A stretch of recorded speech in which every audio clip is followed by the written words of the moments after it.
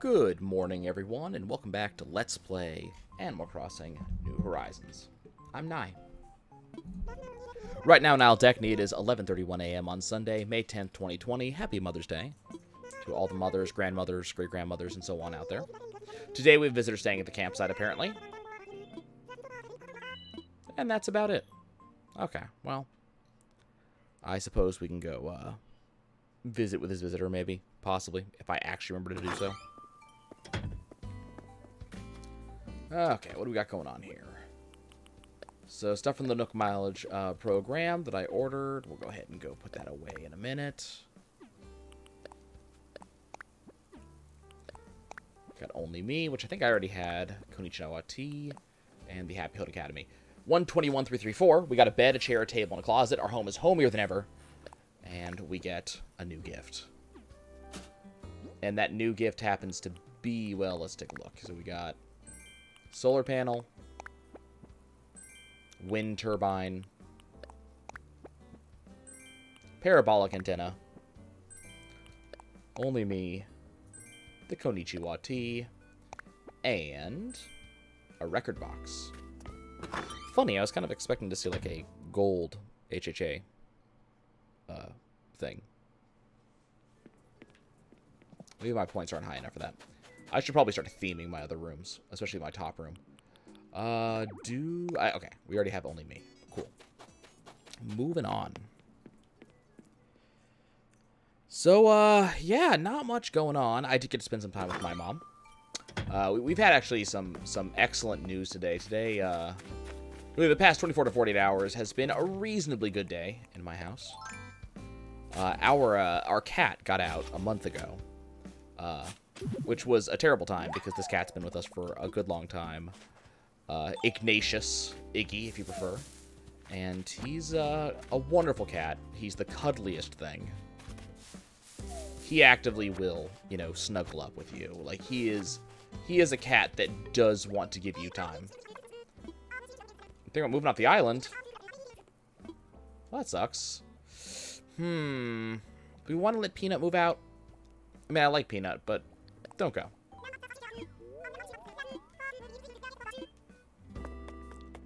I mean, we should probably swap out villagers at some point, but, uh, you know. Don't, don't want to do that now. Okay, what time is it right now? It is 11.33, so I got 27 minutes before I have to go make sure I buy stuff from uh, Daisy Mae. But yeah, he got out. Uh, unfortunately, this was mostly my fault. Um, as part of my biking, uh, I do have to open up the garage uh, in order to get my bike out.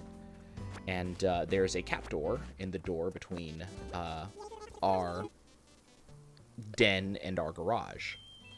And apparently when I opened up the garage door in order to put my bike away on the way back from such an excursion, uh, Iggy got out and vanished into the ether.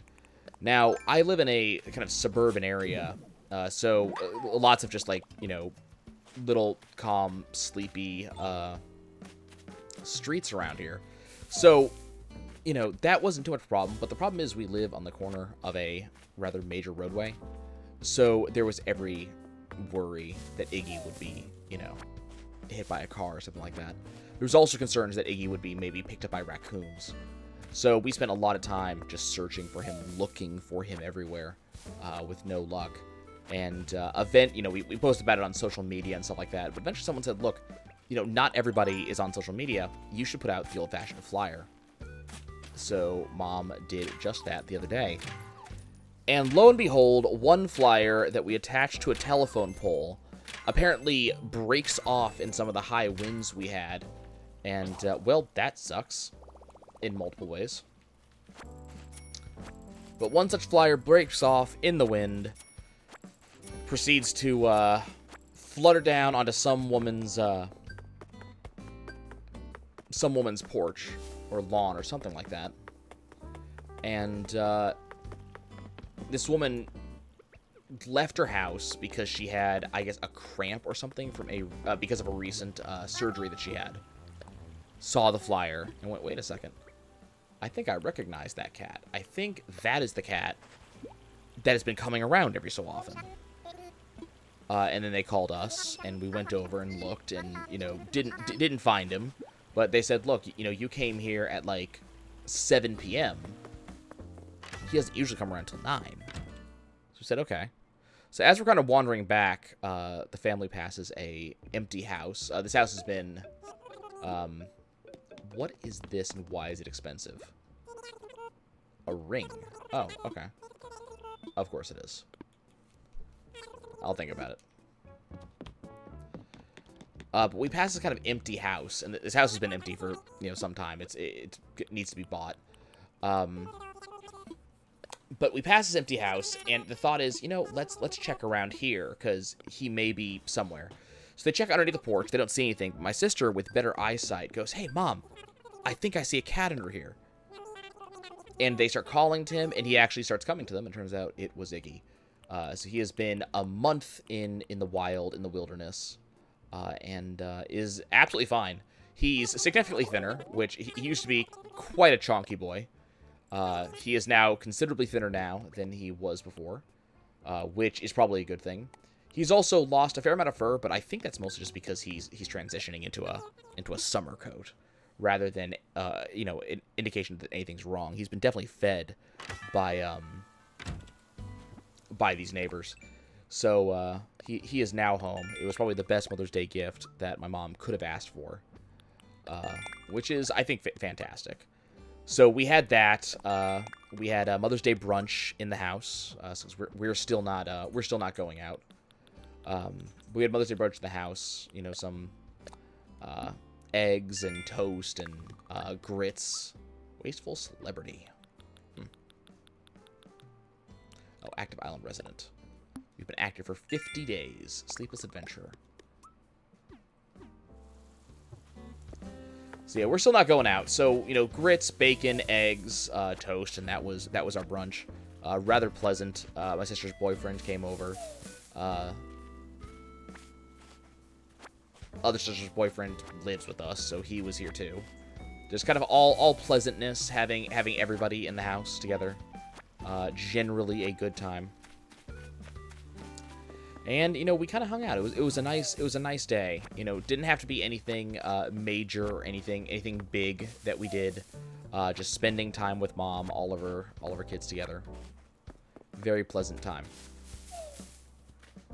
I hope you guys have had a had a good Mother's Day. I hope I hope those of you who are mothers did get to enjoy the day for you. That you know your kids or your significant other or whoever uh, did give you plenty of attention unto yourself, let you feel special. Haven't really been doing much uh, today other than that. I spent some time playing League, uh, some a little bit of time playing Final Fantasy last night.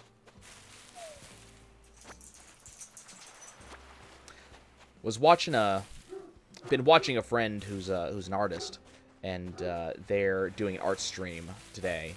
And so I've been kind of watching them. They've been doing uh, commissions and such like that, mini requests, things of that nature, uh, which is always fun to watch. You know, I, I love watching people who are creative, especially visually.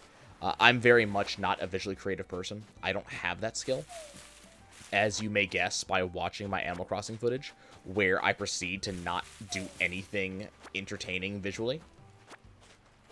Okay, Daisy Mae, what's your price today? 101 bells each. Ooh, ooh. That's, uh...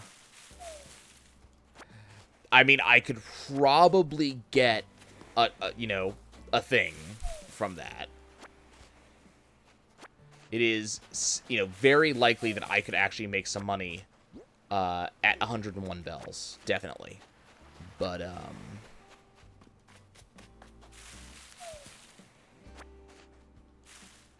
I don't know. But yeah, a, uh, a friend of mine is uh, doing their doing their art stream, which is uh, quite pleasant. It's quite fun, and they've been you know watching movies as they do. And they've been kind of streaming the streaming the movie with us at the same time as they stream the art stream. And uh, we we got to watch some kind of old timey movies. So I I tuned in towards the end of Mary Poppins, uh, which I haven't seen Mary Poppins in a very long time. But it's amazing with with Disney movies specifically just how much this stuff stays with you.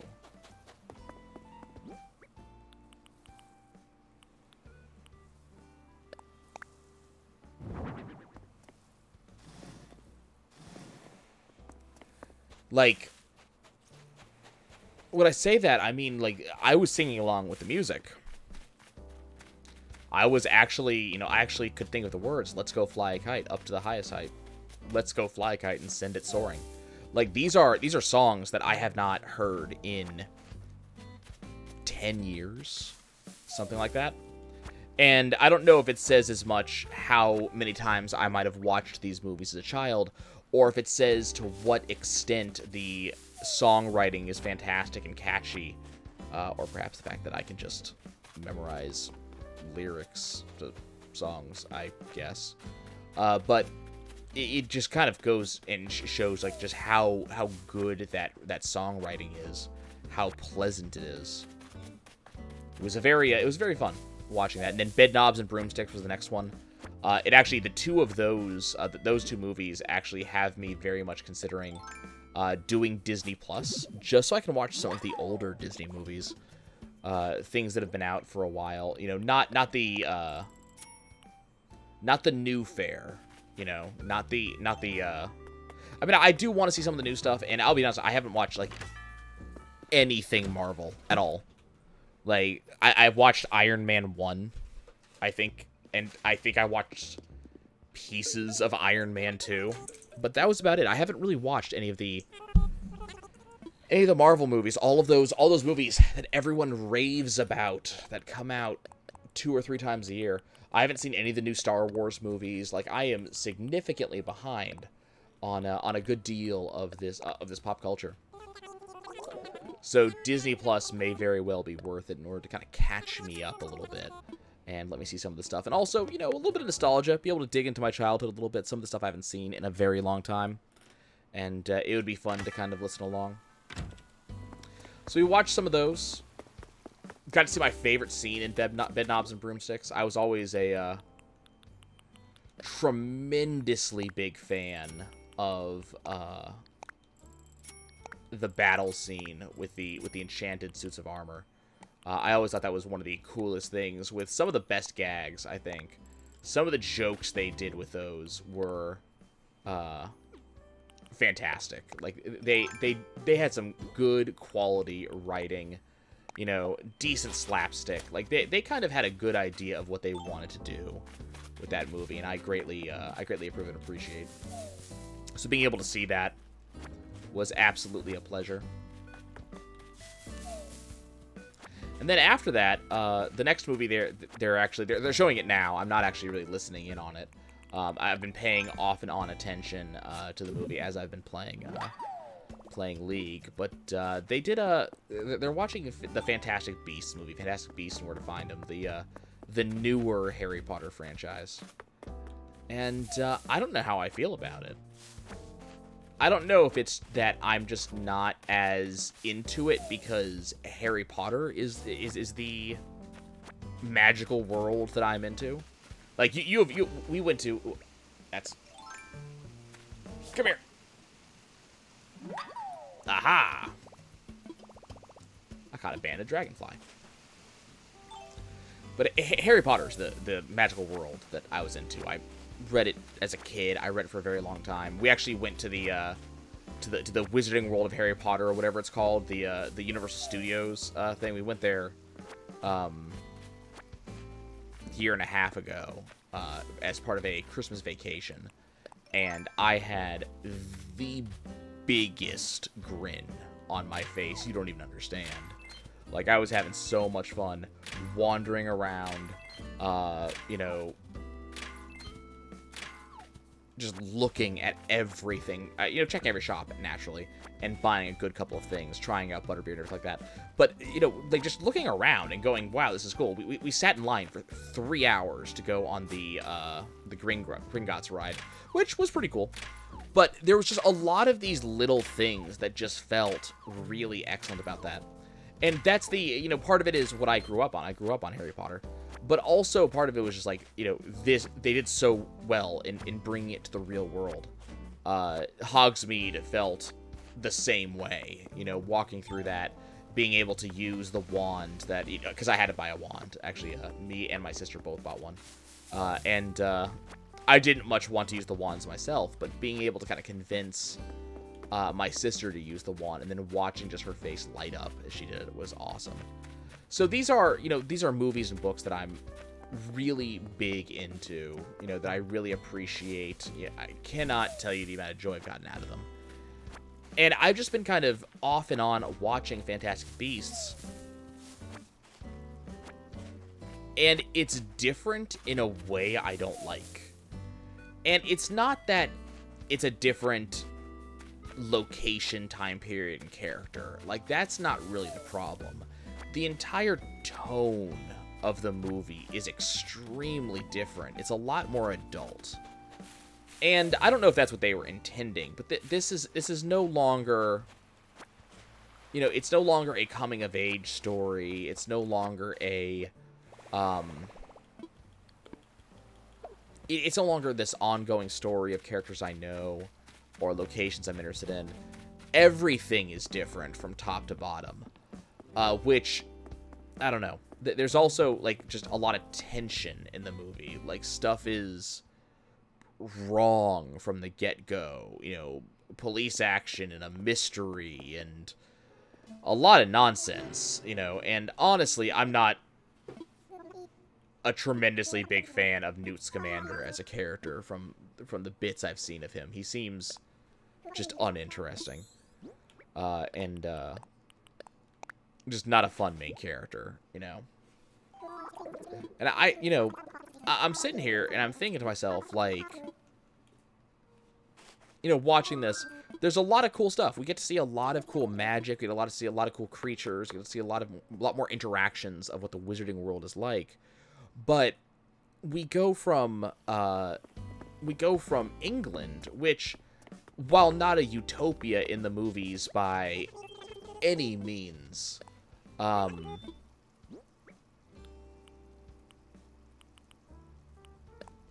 you know, stuff is not absolutely not perfect.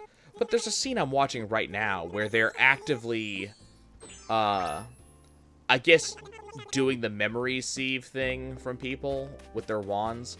But it's in this really weird white clinical, clinical looking area. Uh, the people look scared, like they're being attacked. Like this is, things are things are fearful. Things are just legitimately and extensively unpleasant it, it, it, there is a little bit of a sense of wonder when some things happen, but there's a it's not you know again England in Hogwarts was not a utopia, but it was generally pleasant and happy and enjoyable. You got some time to kind of enjoy uh, a pleasant. Uh, you know, setting before things go wrong. Whereas in this movie, it looks like things just are wrong from the, from the get-go. Like, everything is wrong straight out of, uh... Um... Straight out of the door.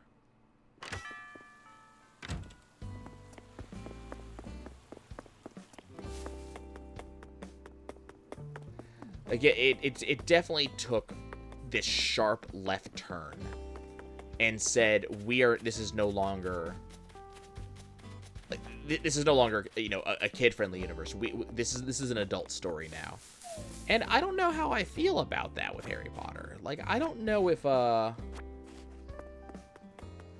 like not you know let's not lie. The, the the original harry potter books are not always happy. You know we have the dementors we harry's an orphan right off the bat.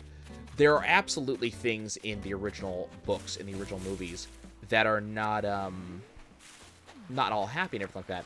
But it doesn't feel like this movie ever has that sense of like normalcy and pleasantness that I, you know, came to be used to.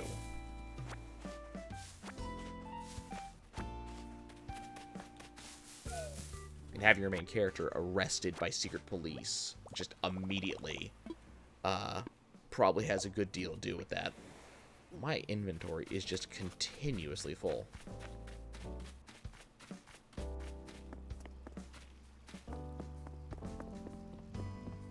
I don't know. Like I, I, I, I suppose if they're if this is meant to be a completely different thing, it's meant to be a completely different thing.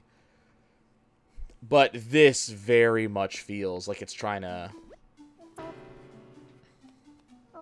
I don't know, change how things work in the Harry Potter universe.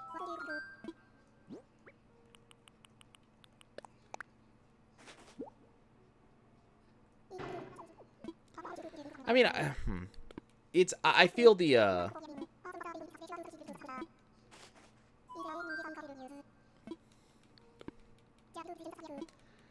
I feel the same way about this that I do about um I'm just watching the scene and just uh, uh. But I, I feel the same way about this that I think I feel about like uh Dead Rising 3 and uh other kind of things of that ilk where the concept or storyline goes in a completely different direction, especially tone. Like tone is this very it's very very important in uh in a lot of things. I was reading through uh Robert Asprin's uh, Myth series. Uh, I, I just finished rereading through it. Uh, I still recommend it, by the way, if you uh, if you guys have not uh, already jumped on it. But um, you know, I, I read, I was reading through it, and the very final book where it closes out the story, uh, it changes the the tone of the story in kind of a big way. Uh, not only do we do a little bit of uh, not necessarily not time traveling, because um, we don't time travel, but uh, it's chronological differences. Every book in the series, up until the very last one, is chronologically in order. And then the very last one is, is split into two kind of sub stories. Uh, the first one is just a kind of a short story about just an adventure earlier on. But the problem is it kind of inserts this adventure in a place where there isn't really room for that adventure to exist. Um, you know, there are things the main characters learn and do in this adventure that makes things later make less sense if you take it chronologically. Because they would have known about things that they obviously didn't know about. It's just one of those things. It's going in and screwing with your screwing with the, the you know the history chronologically and trying to insert something in the middle where a character would learn something that uh, would have helped him in a later adventure. So the tone was, and the tone of this story, in addition, not only because it was a, uh, you know, kind of included and kind of uh, added into, uh, you know, the chronology, but the tone of the story was very different. It was much less lighthearted uh, than the previous stories were. There were a fair amount of, um, you know, a fair amount of jokes. There were puns. Um, you know, these were all things that were in the previous books but uh, the the story felt very very different. Uh, in ways that's really hard for me to describe. Actually, just the the writing felt different, the characters felt a little bit different, um, the adventure felt decidedly different than uh, than the adventures we had seen so far. Uh, I, I, think part of part of what um, part of what I think made it different is that uh, the adventures felt Don't lie to me. There we go. See, this that's where I was gonna put these uh, these items is down here.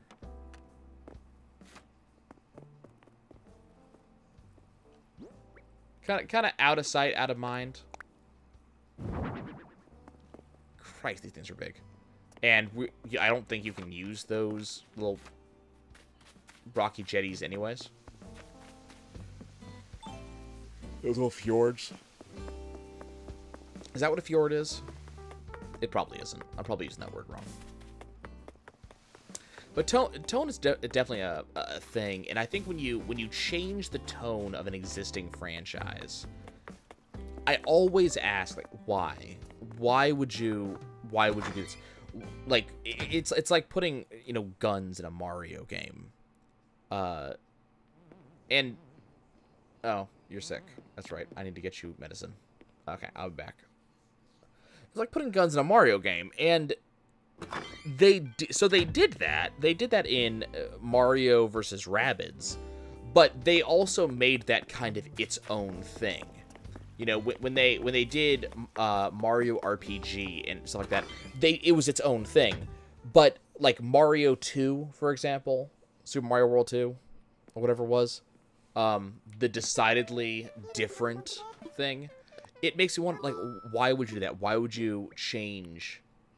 You're you're effectively changing the rules, right? You're you're adjusting how the rules of the uh, of the game work, changing things as a uh, you know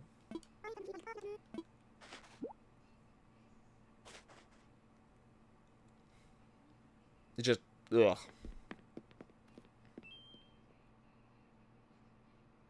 Like I'm, I'm watching, they're in a scene right now where they're in, I guess, a cabaret or something like that, and you you, you wouldn't picture this scene in the original, the original, uh, you know, septopology. Let me octology, really, because the final movie was split into two pieces. But um, this is they're in a speakeasy. Like you you'd never you'd never see this. Just a very different feel. And I always ask myself, like, why wouldn't you make this its own thing?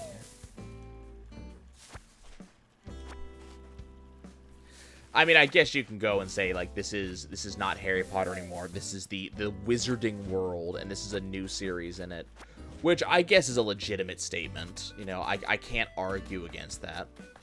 What time is it? Oh crap! I, I might not buy turnips this week.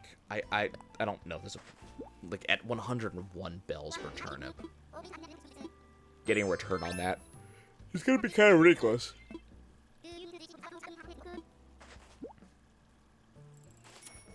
I don't know. I might check with uh with some friends in earlier time zones or later time zones and have them check their prices for me and maybe go join one of them if I'm going to uh if I'm gonna do the turnip thing. It just doesn't seem worth it today. I've always been kind of one to say that if you're gonna if you're gonna radically change how something works or the tone or the setting or something like that, uh, Dead Rising 3 was, was I think one of the examples that I bring up the most, uh, simply because of the um, changing to how a lot of things work, changing to how you know you can save anywhere, not just in bathrooms. Uh, survivors were very very different, things like that. You know, I was I'm always of the opinion that if you're gonna make such a massive change, why are you still working within the bounds of an existing intellectual property? Why aren't you making your own thing or making it its own thing? You know, it, it's I, I, feel the same way with Nintendo a lot when they do like Kirby's Epic Yarn. Uh, that wasn't originally a Kirby game, as far as my I understand. Like they add they put Kirby in because they wanted to put a main character in to just kind of sell the game better. But uh, I mean, it was why do that? I'm, I'm never happy when companies and things do that. Sup, Savannah? Have a thing. Uh, have a cone.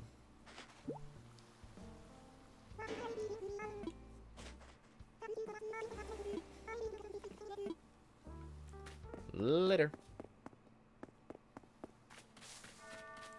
I, know, I might be a little bit too sensitive about it, but it definitely feels at the end of the day for me that uh, it's much harder to enjoy something like that where they've taken this grand departure. Like, I think that's what a lot of people did not like about Bioshock Infinite, for example, was that the tone was extremely different. The style was very different. You know, yes, yes, yes, um, yes, yes, yes, weapons and, uh...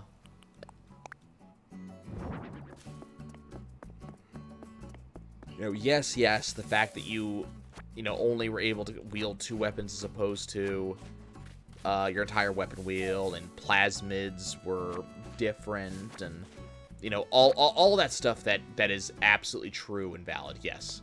Uh, I'm not going to argue any of that. But I think it was the tone. I, I think legitimately, I think realistically, it, the reason people were not happy was because the tone was very different. It was no longer this mystery or exploring. It was no longer learning. Um,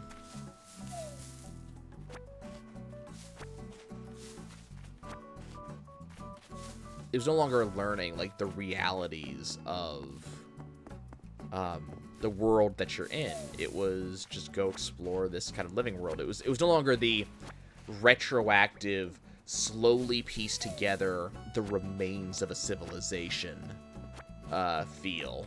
It was very much now go explore a living world, and there's nothing wrong with that. I think that's you know.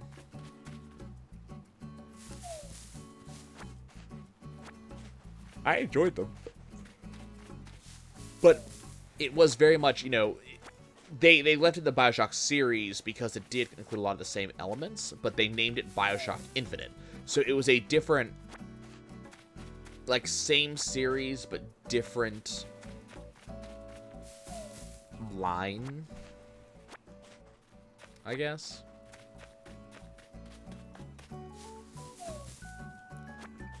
As I said, I I didn't mind it. I thought it was a a fine uh, a fine game. I do intend to play it for you guys at some point, but I say that about a lot of games. So let's see. Apart from that, uh, I did go and start reading Thunderer again. Uh, talking about it in general just kind of made me realize that, hey, I'm between books. I'm yawning an awful lot. I apologize. But I'm I'm between books. Um, you know, I've got nothing to read right now. And as such,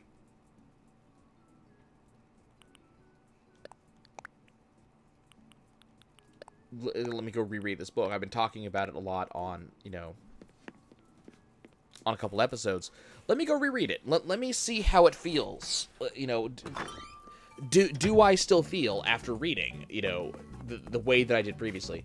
And it's definitely too early for me to, you know, completely judge the book.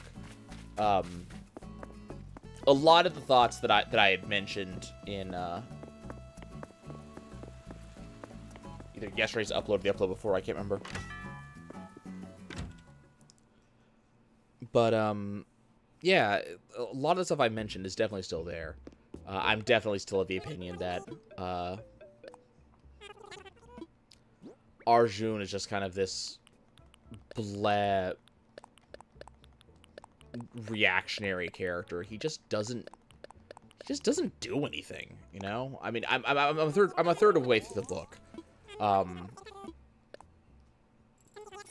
maybe a little bit further than that actually if I think about it. Maybe maybe 40%, 45% through the book. Um you know, stuff has happened, but it's just kind of stuff is happening around him.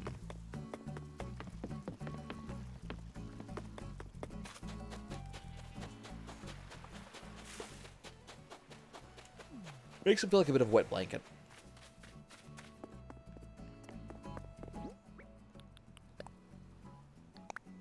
Uh, Jack continues to be a really cool character. I forgot there was this entire subplot about the commander of the flying ship. So, reading through that. And, uh, you know, it's... The writing, I think, is maybe... Ooh, gold armor. Cool. Is that something I can wear, or is that a, a furniture piece? Ooh. Nice the writer, the, the writing feels a little bit more juvenile than I had, uh, than I remembered. It's not bad by any means, but it, it definitely does not feel as deep necessarily as it could be in terms of like content. Uh, that said, the world building is done extraordinarily well.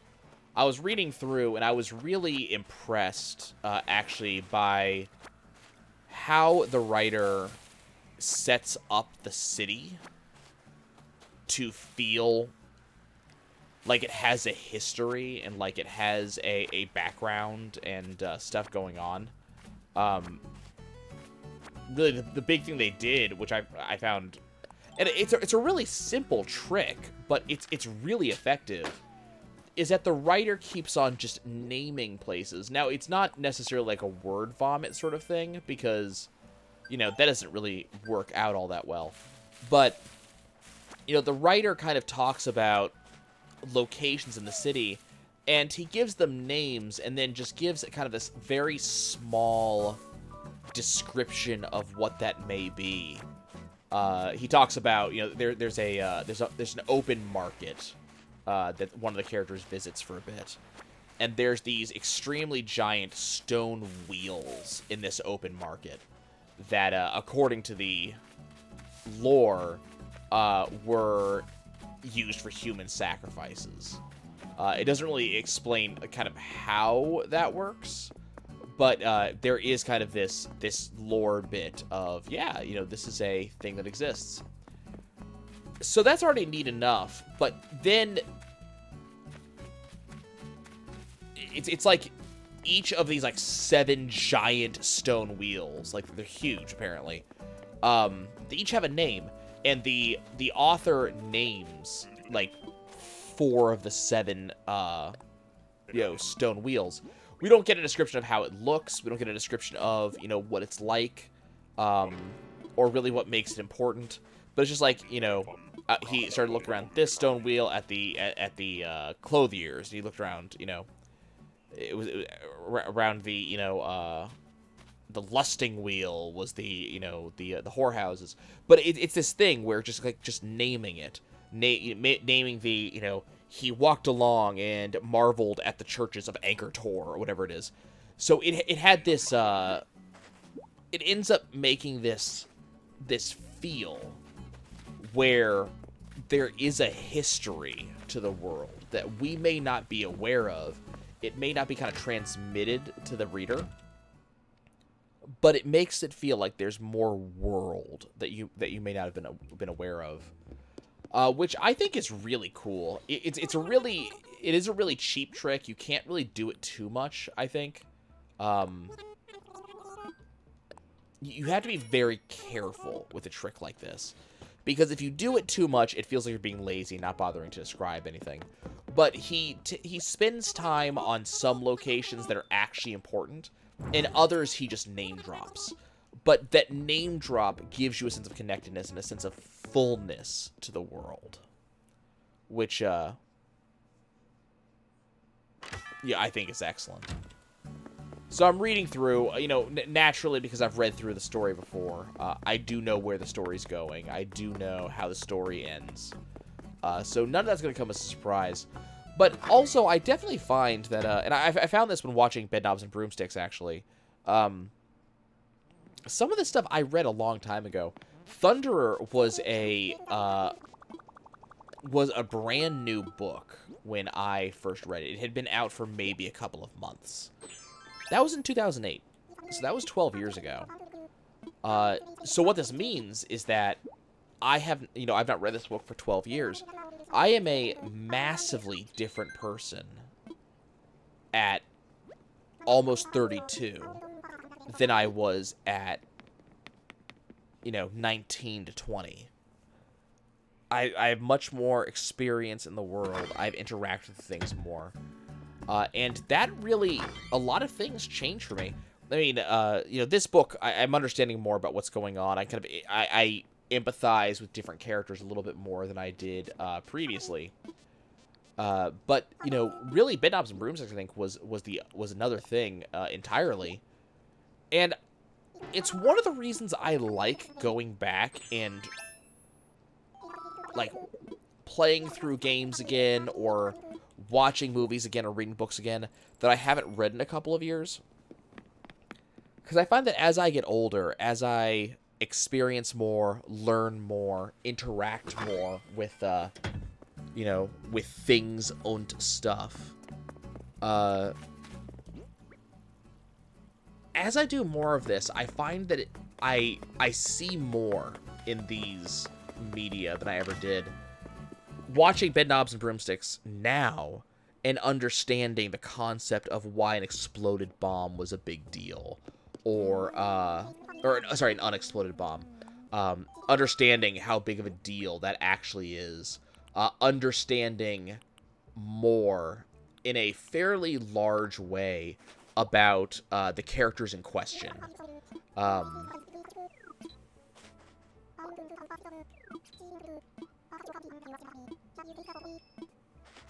I mean, really, really understanding Angela Lansbury's character a lot better and her motivations, understanding more about Mr. Brown and his motivations, and kind of understanding what type of like charlatan he he really is. And he is he's, he's a tremendous charlatan, but he's he's kind of like that charlatan with the heart of gold sort of feel, especially as you get later on into the uh, into the movie.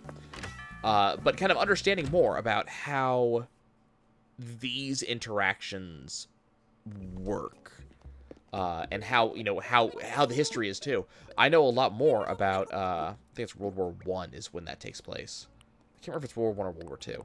Um, but uh, actually no, it's World War Two, isn't it? Yeah. Um, but I understand a lot more about you know kind of the history of the world. And I understand more about World War Two than I did uh, when I you know when I last saw that movie. I understand a lot more about um, you know what what the you know what these kids had to go through or uh, what you know you would have expected from like the military of the time. So it definitely kind of puts things in a very different light uh, which i find to be extremely cool. Like it's, it's something that i love to uh, i love to see. Uh, it's extremely interesting to see these these distinct differences Okay, what do we got? I don't know who our, uh, other than Daisy Mae, I don't know who our unique villager is today. Okay, what do we got? We already have the business suit coat. Pretty sure I already have a waistcoat. Do we have an embroidered patterned skirt? Folk dance outfit. Interesting.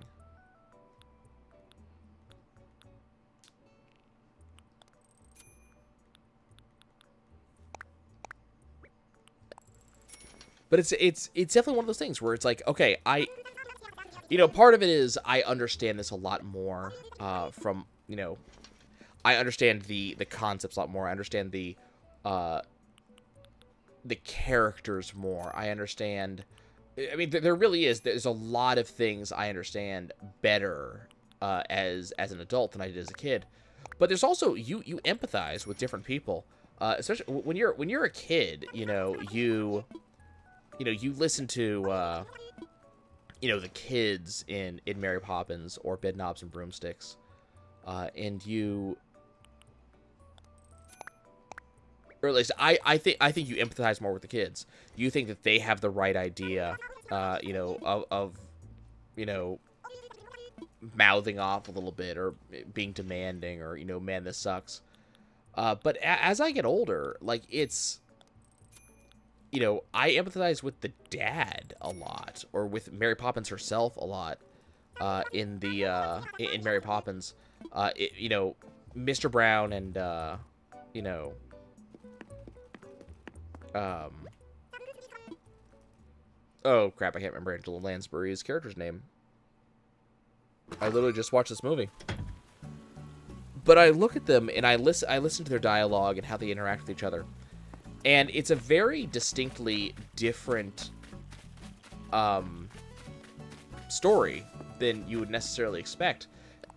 Uh, that the kids are not going to empathize with. Like, they don't understand what makes Mr. Brown like he, Mr. Brown's a, a completely uh, charismatic character. So kids are gonna like him, but they're not gonna realize like who he is or what he does or why he's you know why he's different. Uh, is it Mrs. Price? I think it's Mrs. Price. She's a you know she seems like a little bit of a shrew as a kid, but as an adult, like I completely understand the entire time, the entire movie. She's trying to get stuff together so that way she can help push back the Nazis. It's her entire thing. As an adult, I understand that a lot better. And then, you know, as a kid, you might empathize a little bit, you know, and be upset when the kids are like, but we want you to be our dad. as an adult, watching the end of that movie and watching him decide to go from a, you know, second rate snake oil salesman, you know, at best, and watching go from that and watching him enlist in, um, in the British Army and, uh, you know, get ready to go off to war, uh, I understand that a whole lot better, and I empathize that a whole lot better. Uh, especially as he, you know, as he stops and kind of chucks the kid on the chin and says, "Hey, I will be, I'll be back before you've grown an inch." You know, knowing what I know about, see, I already talked to Pietro. Knowing what I know about, you know, World War II, uh, and just war in general, but World War II especially, you know, how likely is it that he never came back at all? That was a huge thing, you know, then. So hearing these, uh, hearing these characters just a- as a as an adult, as someone who has uh, experienced uh, a lot more in life, it definitely makes you look at some of the stuff in a very different light. You understand better, and as I said, you you uh, uh, you empathize better, and you empathize differently, in a very different way. Different characters grab your attention. Different characters seem to be the ones that actually have their heads on straight.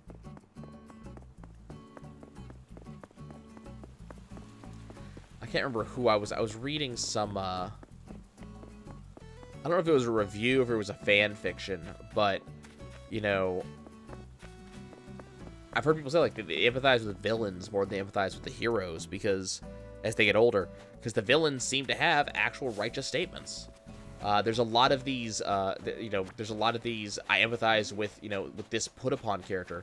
I, I think one of the ones that I, I remember hearing the most on, actually, I, I really appreciate this description, was uh, Ferris Bueller's Day Off, where, you know, they say when I was a kid, I empathized with Ferris, and then as I got older, I realized that Ferris is kind of an immature jerk and an asshole and I really began to empathize more with with Cameron, uh, with how he was just not in control of his life, and uh, you know, trying to figure out why is he letting someone else control him, and why is he doing stuff he doesn't want to do.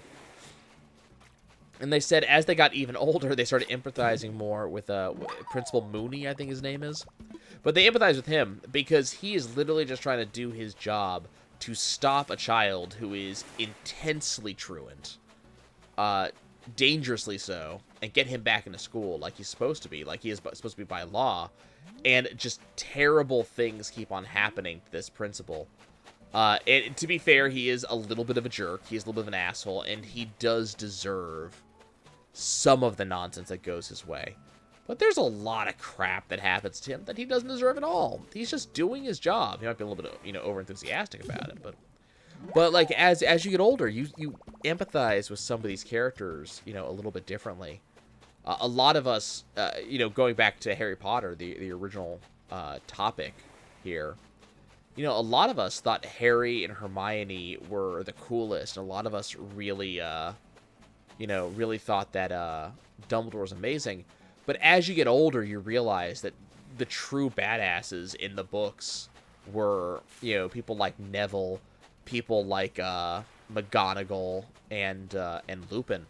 Uh, those were the and uh, Sirius for me. I don't know if I don't know if everybody else agrees with that, but these were the characters that these are the ones that you empathize with. These were the the true characters that you know, really heroes. Uh, even though the book is not really told from their point of view.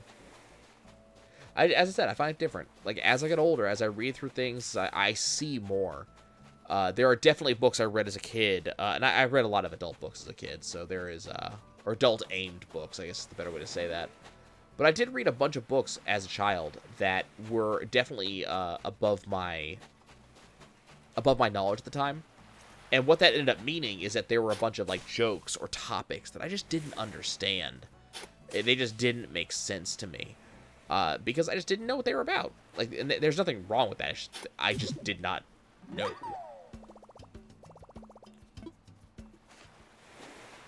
and as I get older and I spend more time uh, learning and going back, I do get to understand this stuff a lot better. That's a darn Dragonfly. I was hoping for another one of those banded ones because those are the ones that are actually worth a fair amount.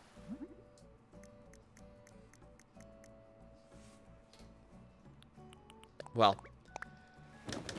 as usual, we reached the end of our time. Talked about a lot of things. You know, have you guys ever lost a pet and found it again? Uh, I'm actually considering getting a second dog to be a companion to my current dog. Everybody in my family is talking about doing this. My uh, sister is trying to convince her boyfriend to adopt a dog. Uh, so the topic keeps on coming up. But, um, you know, have you guys ever lost uh, lost a pet that you then found again?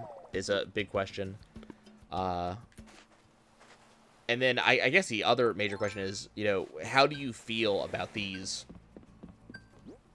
you know these media franchises that feel a need to kind of reinvent themselves or to completely diversify in in future uh, you know future installments. I know that if we look at something like um, well, that was disappointing. I know if we look at something like Rocky, you know, there was that one Rocky that had the robot and crap like that. So that was that's definitely going to be a thing there. Uh, but, um, you know, how, how do you guys feel about that? Do you feel like these should be different franchises? Maybe they shouldn't have made it at all in the first place? Or maybe they're absolutely fine and I'm just not thinking this through. God, you freaking nonsense. Give me the Mahi Mahi. just, just give it to me. And then, you know, have you guys revisited some of your old, you know, childhood media? You know, those video games, those movies, books, what have you, as an adult, and then really learned, you know, these these big differences. Realized that, you know, as an adult, you know more.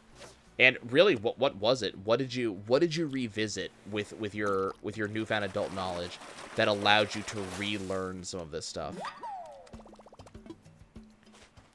It would be kind of interesting to hear.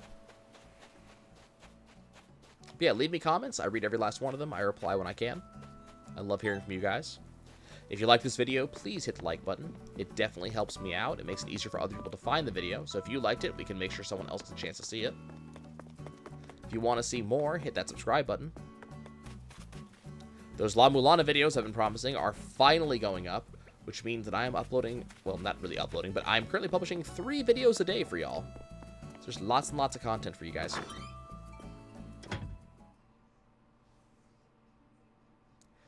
And you guys can catch me on Twitch every once in a while. Links in the description. Come join me. Come talk with me. I like talking to you guys in real time. There's my dog. But uh, I love talking to you guys in real time, and I would love to talk to you guys more directly. You can also head over to that Discord link, which is also the description.